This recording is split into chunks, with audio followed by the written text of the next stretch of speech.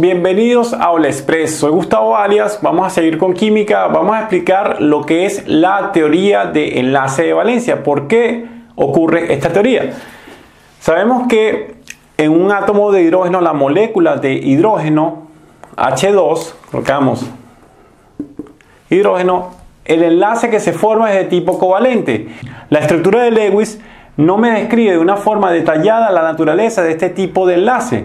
Por ejemplo, la estructura de Lewis solo me está diciendo la compartición de los electrones en general, no me está diciendo la longitud, por qué ocurre las diferentes longitudes de enlace con respecto a diferentes tipos de moléculas, las diferentes energías de disociación cuando se rompe el dicho enlace, también el diamagnetismo o paramagnetismo de la molécula y otras propiedades. Entonces, se recurre a la teoría, a la teoría mecánica cuántica haciendo dos tipos de teoría.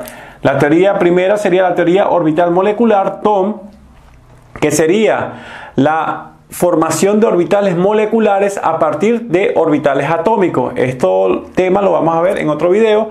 Por ahora vamos a ver lo que es la teoría de enlace de valencia, T abreviado TEV donde existe, tengo un átomo de hidrógeno con otro átomo de hidrógeno y los orbitales 1s se van a traslapar. ¿Qué, ¿Qué, quiere decir? Que van a tocarse, van a tener regiones en común. Entonces vamos a colocar que existe el traslape de orbitales. Traslape de orbitales que explica este tipo de teoría de este, que explica este tipo de teoría de enlace de valencia los orbitales 1s1 y acá 1s1 por lo tanto tienen una región en común orbital de un átomo de hidrógeno con respecto a otro ahora nos preguntamos ¿por qué ocurre el traslape? colocamos ¿por qué?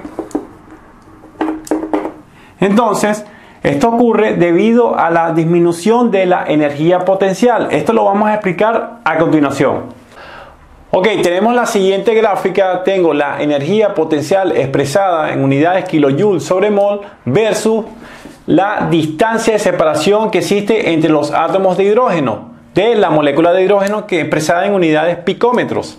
Entonces, acá tengo tres escenarios. Tengo una escena, la primera escena se encuentran los dos átomos separados, escena 2 y escena 3. Vamos con la escena 1.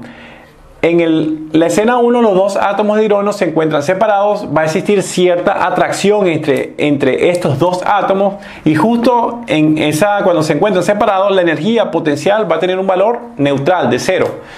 Ahora en la escena 2 cuando los dos átomos, los dos orbitales están más cerca, existe un, cierto traslape, vemos que tienen región en común donde van a estar los dos electrones de cada átomo respectivamente, la energía potencial desciende, tiene un valor negativo, acá cero está negativo, y cuando la energía potencial es negativo quiere decir que es una está liberando energía, sería una reacción exotérmica, está liberando energía cuando existe contacto entre los orbitales, entre los orbitales de un átomo con respecto a otro en comparación a los dos átomos cuando se encuentran separados. Entonces, existe, tiene una mayor estabilidad en la escena 2.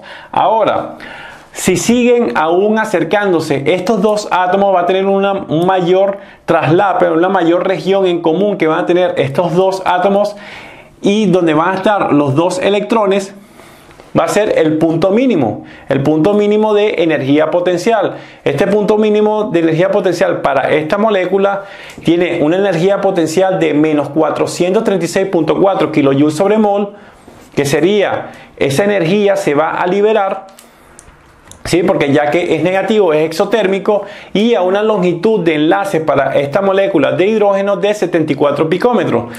Con estos datos, con estos cambios energéticos, cuando llega a su mínimo de energía, podemos diferenciarlos con las energías de disociación de otras moléculas, por ejemplo la del flúor, que tiene energía de disociación diferente y longitud de enlace diferente. Ahora, podemos, otra cosa que podemos decir que justo cuando llega a este punto mínimo, las fuerzas de atracción y fuerza de repulsión se igualan acá cuando llega a este punto mínimo y después que sigue acercándose un átomo a otro átomo, va a existir una repulsión electrostática entre las cargas positivas, entre los núcleos. Entonces, como va a existir repulsión, la energía, la, energía potencial va a aumentar abruptamente, como tenemos acá en la gráfica.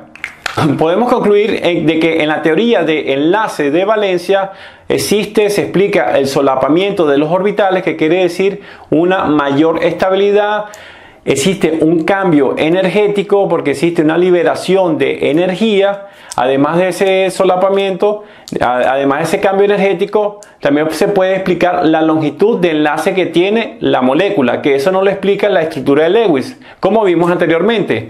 Y otra cosa que esta teoría se puede aplicar para moléculas poliatómicas. Lo que sí se necesita, se requiere un esquema que justifique la geometría molecular. Y este esquema sería lo que llamamos la hibridación, que eso lo vamos a ver en el próximo video. Si te ha gustado el video, un like, suscríbete al canal y cualquier duda o comentario puedes escribirlo acá abajo.